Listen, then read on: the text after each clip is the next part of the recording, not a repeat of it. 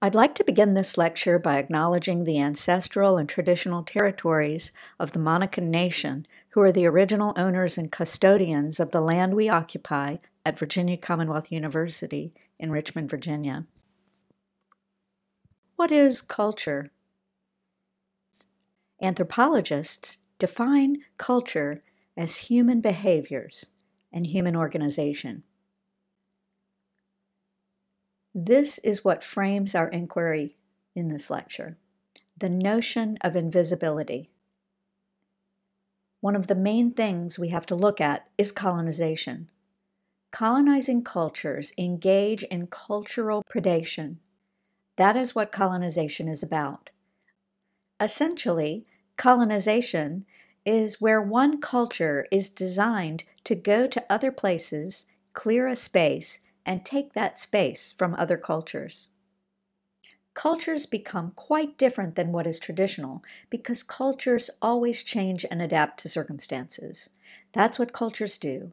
So, indigenous cultures in some communities are cultures of response responses to trauma, to dominance, to the alienation that takes place, and they respond to the poverty that results. Because essentially, the argument anthropologists make if there is social inequities, then there is social dominance. And the difference between the public discourse and the private discourse is where you see the degree of dominance and the features of cultural adaptation.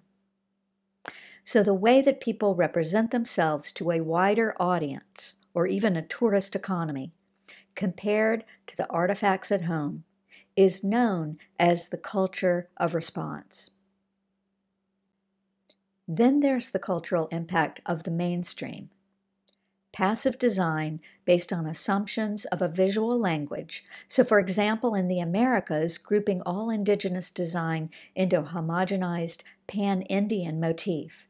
This conceals and suppresses the cultural identity, not just of the tribe, but of the whole. To represent a person or group is to inscribe identity onto them, whether it's in writing, verbally, or visually, in one of any number of available mass mediums. Indigenous peoples have long been objectified in representations in the media without any say in how others depict them. No right to view, approve, edit, or contest these images. These are from a popular children's book, Mary Poppins. Here's a closer look at the image depicting Native Americans. Other mediums include advertising, especially in the category of branding and package design, academic texts and travelogues, entertainment, and sports. Sports is a big one. Representations like this, which are changing. When they're repeated, they create a narrative which becomes our understanding of the way things are. Representations construct our reality. So, what does it mean to be a culture maker? Well, a lot of what design can do and is called to do is cultural development. Design is synonymous with culture. There isn't a culture that doesn't have design, and design is something that all cultures have. What are the cultural pathways? If you want evidence about how to proceed and what the cultural pathways are, the last people you ask are the majority population, the socio-political and economical drivers, because they're doing the inequity. That's basic good research methods. The way you look at the problem can't be driven by mainstream norms. When we look at design and indigenous knowledge, which is a living knowledge, the challenge is for Indigenous groups to look at the knowing they have about themselves and about colonization. One of the roles of design is an intermediary. Design theorists call design an enabling mindset. So it's not exactly a solving mindset. It's a mindset that looks at the whole and says what sort of meanings can arise from this. Not what sort of products or what sort of processes, but what sort of meanings arise from this that might be beneficial to it? This is a very indigenous process compared to the Western mind that says what kind of meanings arise from this to get a better publication, a better graphic, uh, or a better poster, or a better object. Let's look at some indigenous designers. Angel DeCora was a prominent native female designer from the Thunderbird clan, a part of the Winnebago culture. This is her portrait accompanying her essay, Native Indian Art, in proceedings of the first conference of the Society of American Indians in 1911. She's wearing a buckskin dress in Great Plains style and not of her own Winnebago culture. In 1907, DeCora authored a book titled The Indian's Book. This is the cover design.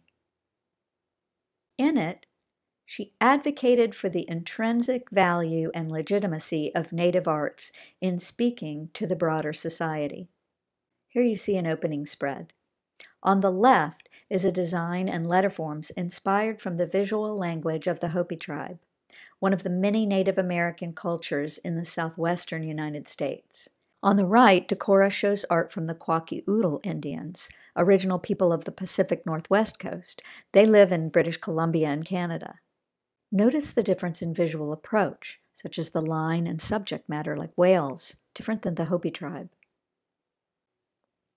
Neben Southall, a graphic designer and a member of the Chippewa of Rama First Nation, created the Native Graphic Design Project. In addition to published print articles, she curates an online database as a way to increase the visibility of North American indigenous graphic designers. One design firm Southall highlights is Digital Navajo, an indigenous creative agency located in Albuquerque and Seattle. They teamed up with the University of North Carolina at Pembroke to focus on branding for their Native American student department. The resulting work consisted of indigenous design pulling from the southeast woodlands region. This is a petroglyph from Hiwassee Rock, Clay County, North Carolina, dating anywhere between 1000 to 1600 CDE. You can see how clear research led to a contemporary and specific aesthetic. In 2014, Digital Navajo rebranded the Haida Corporation in Hydaburg, Alaska, to craft a brand that speaks to a newer generation of their community. Here's an example of authentic Haida art Raven and Moon, Haida Weeping Woman, Bear and Frogs. The Haida are original people of the Pacific Northwest coast. Their homelands are the islands near the coast of southeastern Alaska and northwest British Columbia. This is an identity for our Native American business network based in Portland, Oregon. Here you see a basket pattern as precedence for the design. This basket is from the Confederate Tribes of Siletz Indians of Oregon, and it's an example of the tribe's authentic visual language. Beautiful geometric forms inspire digital graphics for a 21st century company. A Lakota graphic designer, Sadie Red Wing, believes in the visual sovereignty of the unique tribal imagery. She designs specifically for Lakota. This is a design for Indigenous Peoples Day 2016. This is a poster workshop she conducted at Standing Rock to protest the Dakota Access Pipeline, that's that 1,172 mile long oil pipeline project that was supposed to cross into sacred tribal lands and threaten to contaminate the local water supply. That has since been disbanded. This piece is titled Lakota plus Dakota Visual Essay.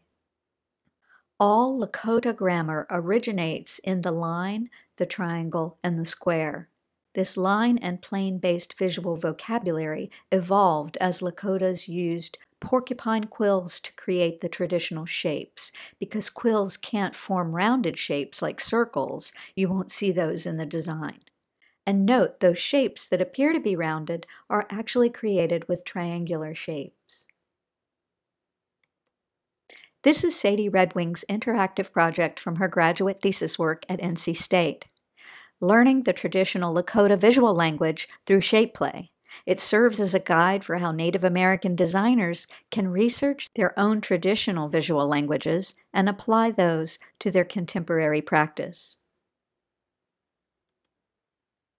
Southall also listed contemporary native designers Rico Worl, a Tlingit Athabascan designer and founder of Trickster Company, who, along with his sister Crystal, designs products from basketballs to apparel featuring Northwest Coast art. Worl observes Tlingit property law and does not create designs utilizing specific clan crests. The name of their company, Trickster, comes from the traditional human and animal creation stories of the indigenous peoples of the Pacific Northwest coast. Raven stories exist in nearly all of the First Nations throughout the region, but are most prominent in the tales of the Tlingit and Tahltan people. The raven's always a magical creature able to take the form of human, animal, and even inanimate objects. Raven is a keeper of secrets and a trickster hence the name of the company. The aesthetic you see in their work is called formline. Formline is a composition of lines whose widths vary to create form. The overall collection of these compose an image or a design. Formline is an art that dates back more than 2,000 years. The formline designs may represent stories of uh, the raven, the trickster, historic events, clan crests, or other concepts. This is a home in the Yukon Territory in northwest Canada that has these beautiful formline compositions all over its structure. The Trickster Company's focus is on Northwest Coast art. The designers explore themes and issues in Native culture, and they strive to represent a prestigious lineage of art in fresh, new, and energetic ways as a celebration of a contemporary Northwest Coast culture. Their aim is to produce products which act as cultural objects to represent a modern Indigenous people through their heritage. It's also to create products that non native people can wear and use and appreciate without appropriating via cultural exchange. By doing this, they hope to represent modern Indigenous lifestyle to a broader audience. Eagle and Raven skateboards were the original products for the company. These designs are from the traditional colors that Tlingit people originally harvested from natural dyes, and then they use bold and alternative colors as well. The longboard on the right is designed by one of the in-house designers, Ronnie Fairbanks, who is Tlingit, Tsimshian, and Chippewa. As well as being an in-house designer, he's also a teacher.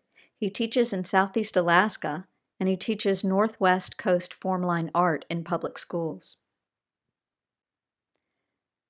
This is a product they created called Cards for Decolonization.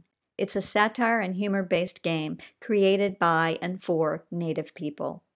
As it states on the back of the package design, Cards for Decolonization attempts to embrace the modern Native culture and allows us to learn and laugh at the same time. Gary Abalarosa says of the game, through this short and profound experience, I realized how putting these stereotypes on the table can help with the decolonization of the individuals who would be playing the game. It also drives the conversation to a deeper level, shifts the paradigms, and awakes consciousness. It leads to storytelling of one's culture, which can be liberating, transformative, and set the trajectory for culture healing and revitalization. And it is so hilariously wrong.